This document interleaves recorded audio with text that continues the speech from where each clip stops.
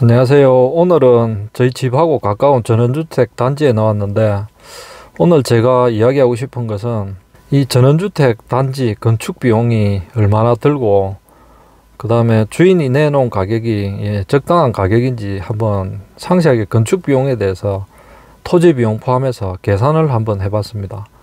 아, 여기 기준으로 삼은 위치는 예, 경남, 창원시, 마산, 하포구, 구산면, 옥계리 예, 국도 2차선에 바로 인접해 있고 마산 시내까지는 한 20분 정도 걸립니다.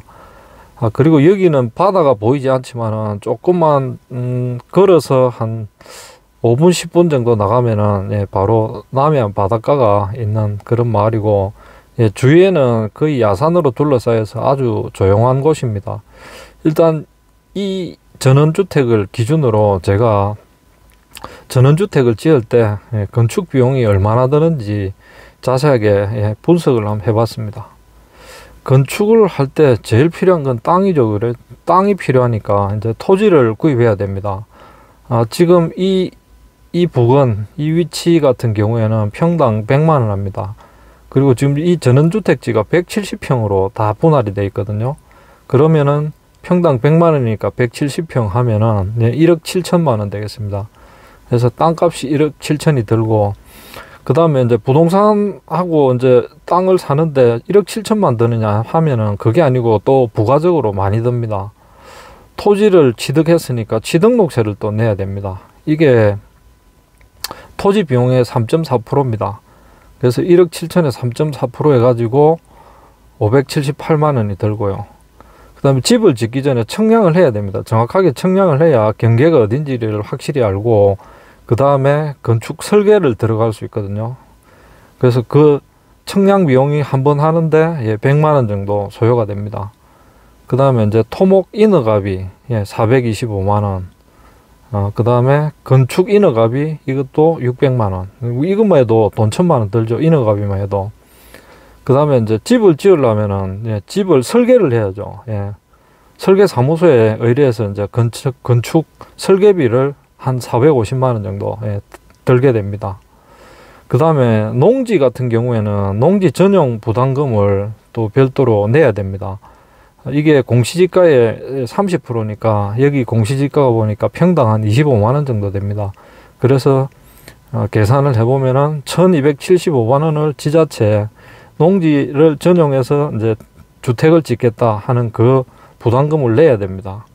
그 다음에 이제 토목공사비죠. 여기는 야산이 아니고 밭입니다. 원래 밭인데 밭은 토목공사비가 그렇게 많이 안 듭니다. 축대만 조금 쌓고 평탄화 작업하고 이렇게 하는데 평당 5만 원 정도 들어가거든요. 그래서 어 170평 하면은 850만 원 정도 소요가 되고 그 다음에 전기 수도를 이제 끌어오는 비용이 한 천만 원 정도 듭니다.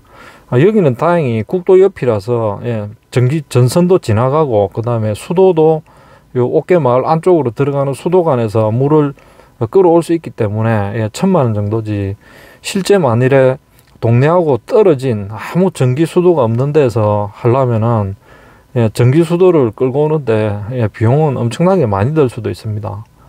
그래서 총 이제 토지에 관련돼서 투입된 비용이 그 토지 구입비 1억 7천 음, 포함해 가지고 2억 2천 278만 원으로 예, 총 합계가 나옵니다. 이거는 순수하게 땅에 들어간 비용을 예, 말하는 겁니다. 자, 그 다음에 이제 땅이 준비가 됐으면은 이제 건축을 해야 되겠죠. 땅 위에다가. 건축 비용은 참 여러 가지입니다. 평당 500만 원부터 1000만 원 아니면 그 이상 진짜 뭐 이태리 대리석으로 막 인테리어를 화롭게 한다면은 뭐 1500만 원 이렇게도 들어갈 수 있습니다. 하지만은 우리가 일반적으로 봤을 때 보통 한 600만 원대 정도에서 전원주택을 짓게 됩니다. 그래서 평당 600 해가지고 30평을 지으면은 1억 8천이죠. 예, 거의 땅값이나 맞먹는 수준입니다. 그 다음에 이제 공사를 시작하게 되면은 그 인부들 사고 나면은 보험을 또 들어야 되거든요. 그 산재 보험료가 한 200만 원 정도 들고요.